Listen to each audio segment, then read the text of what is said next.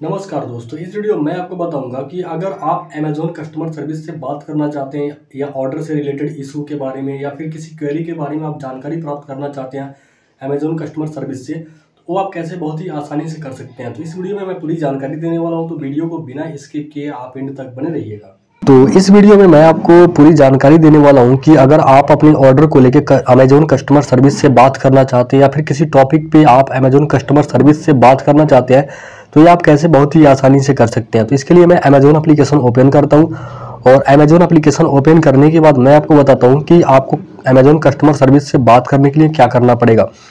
तो सबसे पहले मैं आपको एग्ज़ाम्पल के तौर पर एक चीज़ दिखाता हूँ। जैसा कि मैंने अपने अकाउंट पे क्लिक किया अकाउंट पे क्लिक करने के बाद अपने ऑर्डर पे गया, जो कि मैंने एक ऑर्डर किया था। तो ये अब ऑर्डर मैंने किया था तीन फरवरी को, जैसा कि मैं आपको डिटेल में दिखाता हूँ। और मैं आपको फिर बताता हूँ कि आप किस तरह से बात कर सकते हैं अमेजोन कस्टमर सर्विस से। तो यहाँ पे जो मेरा ऑर्डर था, ये तीन फरवरी का था और जो मेरे पास पहुँचने वाला था, ये नौ तारीख के डेट में पहुँचने वाला था। बट नौ तारीख के डेट में ना पहुँचने के बजाय ये दो दिन डिले हो गया और आज ग्यारह तारीख हो गया।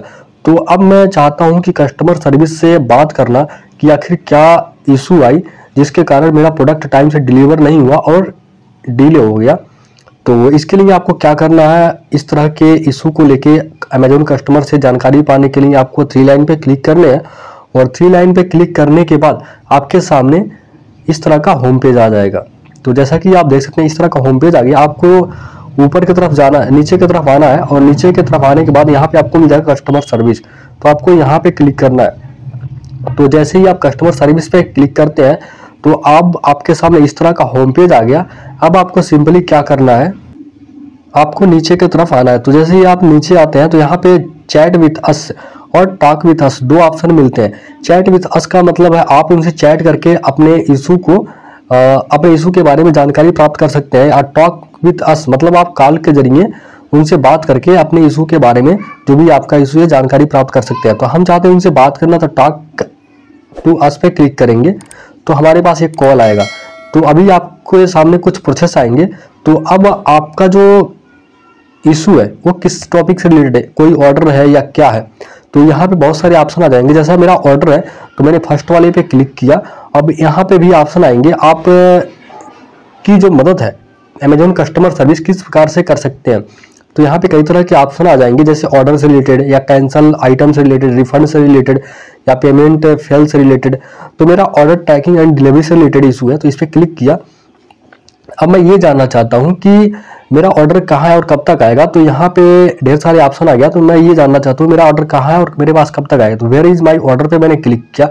अब क्लिक करने के बाद क्या करना है आपको? कंटिन्यू टू कस्टमर सर्विस पे क्लिक करना है। जैसे ही आप कंटिन्यू टू कस्टमर सर्विस पे क्लिक करते हैं, अब यहाँ पे आपको मिल जाता है कॉल का ऑप्शन जैसा कि आप देख सकते हैं नीचे कॉल मी नाउ जैसे ही आप इस पर क्लिक करेंगे, और एक चीज़ आपको और बता दूँ, यहाँ पे कई लैंग्वेज मिल जाते हैं, हिंदी, इंग्लिश, तेलुगू, तमिल।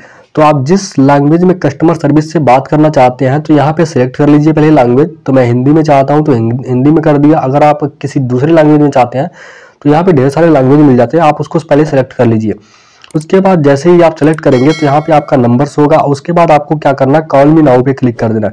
जैसे ही आप कॉल मी नाउ पे क्लिक करेंगे तो आपके पास जस्ट अमेजोन कस्टमर सर्विस से कॉल आएगा और फिर आपको बात करना पड़ेगा अपने जो भी इशू है, उसके बारे में जानकारी देनी होगी। फिर आपके इशू के बारे में वो आपको बता देंगे क्या हुआ और आपको क्या कैसे करना है।